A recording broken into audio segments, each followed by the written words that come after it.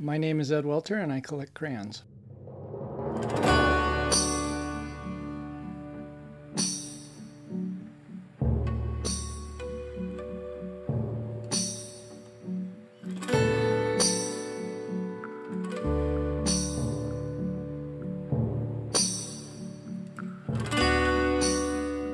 My intention of collecting crayons came from a collection that I had before, which was uh, actually beer stuff. And when I sold that off, um, I had uh, a package come in the mail from eBay, and it was for something else, but it also included uh, an old box of uh, Crayola crayons. And as I had a lot of uh, wooden shelves that were empty from having sold my uh, beer can collection, crayons fit on those shelves. And so I thought, I wondered how many different uh, crayon boxes there are. And so one thing led to another. I started accumulating them. In my collection, I probably have about 60 to 80,000 crayons in this room alone. Uh, and that's probably around 3,000 different boxes of various sizes. You'll notice that um, one of my crayons is, a, is just a single crayon, and I'm a box guy. Most of the stuff in here is in boxes, but this crayon is, uh, it was given to Oprah Winfrey during a special presentation uh, on her TV show, and she's the only person that was uh, supposed to get that box, and uh, they made a special color for her called the color purple after the movie, and um, because there are people that collect Crayola colors, the names on the crayons, and there are over 700 and they want every one of them, it is one of the most sought after colors there is because only Oprah theoretically has one. However, I do have one. Um, I have connections and uh, was able to get one. The rarest crayons in my collection, or even out there, um, really aren't the Crayola crayons, uh, as everybody would think. Crayola is just simply the most popular crayon that there has ever been. A lot of crayons from the late 1800s, and when they first started um, making crayons in the U.S., are really quite rare. A couple of these, this, this, Crayola number 51 and this Rubens, these are the original largest boxes Crayola ever put out. They're from 1903, and they they're very common. They have a Victorian girl. They list the colors. These are mostly colors that you would never find anymore in a modern Crayola box. And they're also colors that Crayola doesn't even advertise are retired. They're just colors that have disappeared off of the face of their color spectrum.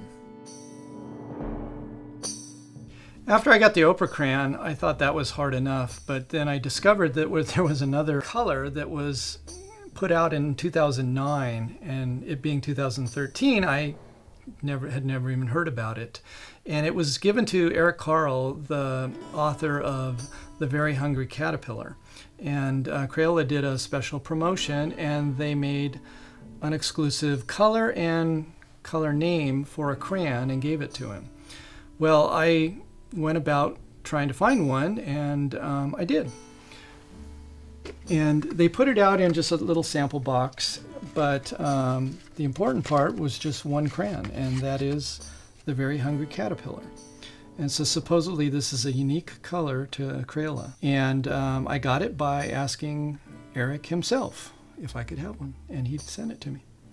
Through my research, I put together a website to help other collectors age these and know more about them, and I get a lot of emails from that, so I communicate with a lot of people around the world. When I started, there, there literally was no history of this entire industry. None. Not, nobody knew where the crayon was invented and how it progressed to what we know of it today. And I thought that was fascinating because most things you can look up and there's some history, um, but not with crayons. And so I took it upon myself to write the history. You can only do so much online.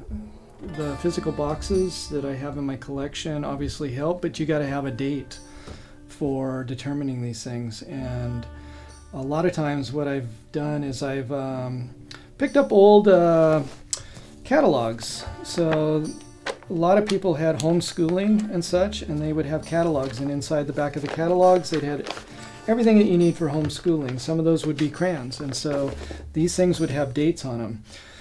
Frustratingly, some of them don't have dates on them, so I do other tricks. Um, they would sell calendars in here, so if it didn't have a date, I could go look at the uh, where they're selling calendars and pull the year off of that. And so it's kind of a little little trick that I picked up. This is a Milton Bradley um, catalog, and it will have crayons in it, and I can compare those and similar crayons and start to age them and put them into a logical progression from the year that they started to current day. The reality is that at this point in collecting for me, my room is full. And I have two rules that um, keep my sanity for a collection. One is that um, it has to be on display, or why bother collecting it? And then the other is that it can't leave this room. I've known enough collectors in my lifetime that they they tend to be hoarders, a lot of them, and uh, maybe it comes with the collecting territory. But uh, my my personal line for drawing between that is that it isn't occupying my entire house. Um, I have a collection, you know, nicely displayed in one single area, and that's my bounds. In this day and age, I don't really have to put something physically up into my collection. I have a website, I capture photos off of uh, wherever I find them. If it's eBay, if it's in a store and I want a picture, I just take a, a shot of that uh, particular crayon box and then I keep it to the collection and make it available for other people to use. In doing the virtual side of collecting, it allows me to satisfy my passion for collecting crayons and discovering new crayons that I couldn't physically put into my collection anymore unless I built a warehouse for them. So I've had to come to terms with what do I do with my collection, and I think I can still continue collecting, but do it virtually in this uh, digital age, it's very easy to still represent that physical box through pictures that are on my computer. Whether it's the physical or the digital versions, I'm always going to be a collector and I'm always going to be passionate about what I'm collecting. And this is my crayon collection.